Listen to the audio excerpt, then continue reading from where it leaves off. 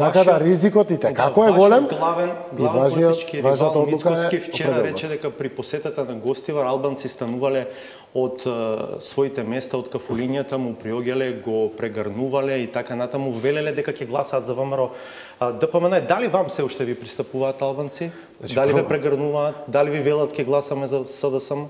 Прво Јас, за да го докажам тоа, само треба да го погледнат амбиентот околу мене.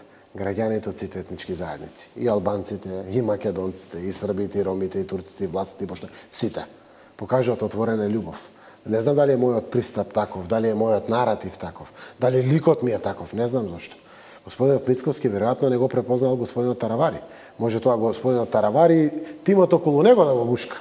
Албанците, за да го гушка, дај Боже да го дочека тоа, Треба да се покаже, да го постави својот наратив така и да се рестерети од таа филозофија на неговиот шеф, чиста Македонија, Македонија на македонците или слично. Од секој пат сме били мултиетничка земја и таква ќе останеме. Додека тоа не го промени, може да го користат неговите политички партнери, тие се коалиционен партнер на ниво на гостивар и веројатно не можел човекот да го препозна. Или Таравари бил, или неговиот шеф на кабинет, или неговиот тим.